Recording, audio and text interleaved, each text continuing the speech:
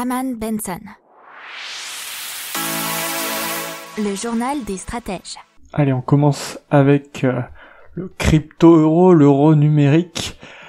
Et donc c'est euh, Fabio Penetta, qui est membre du comité exécutif de la Banque Centrale Européenne, qui estime que le lancement de cette alternative au cash pourrait intervenir d'ici à 5 ans. C'est ce qu'il a dit dans le Financial Times et vous pouvez retrouver l'interview complète sur le site de la Banque Centrale Européenne également.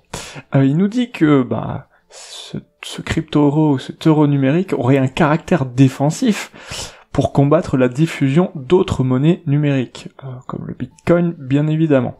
Les paiements laisseront suffisamment de traces pour permettre aux forces de l'ordre de reconstruire une transaction en cas de doute sur la légalité. Alors apparemment, seuls les petits transferts de moins de 100 euros, 75 euros, pour être anonymes euh, et faits gré à gré en Bluetooth apparemment. Alors, la détention de cette monnaie de banque centrale devrait aussi être plafonnée à 3000 euros, soit de manière stricte, soit de manière incitative. C'est par exemple par le biais d'une rémunération négative au-delà de ce seuil.